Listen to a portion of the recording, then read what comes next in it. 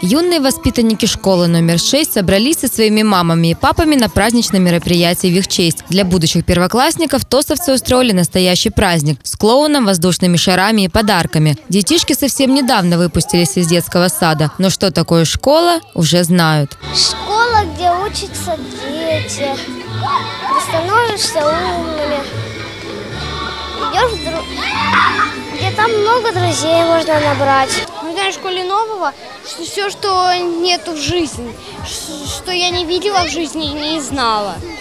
Я хочу, чтобы у меня были хорошие друзья и у меня был хороший портфель.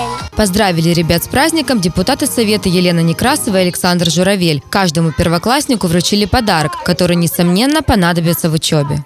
Дорогие родители, которые ведут детей в первый класс, я вам желаю терпения, потому что, наверное, в течение всего года будет достаточно сложно, будут какие-то испытания, дети будут привыкать к тому, что это уже не детский сад, а школа. Поэтому, дорогие родители, вам терпения, терпения, еще раз терпения. Пусть первый год ваших детей в школе будет очень удачным. Для первоклашек выступили хореографический ансамбль «Ангелы», студия бального танца «Элит» и другие юные дарования Анапы. Смешной клоун проводил конкурсы, веселил и развлекал детей. Пока ребята были заняты участием в праздничной программе, родители наблюдали и радовались за них. Очень радостное такое состояние. Кажется, что мы сами идем в первый класс и впереди осознаем такой очень важный жизненный этап.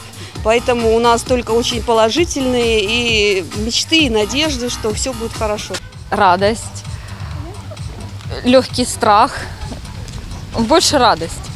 То, что новый этап в жизни, садик мы прошли, и теперь это он станет взрослым человеком, научится многих тех вещей, чему учили нас.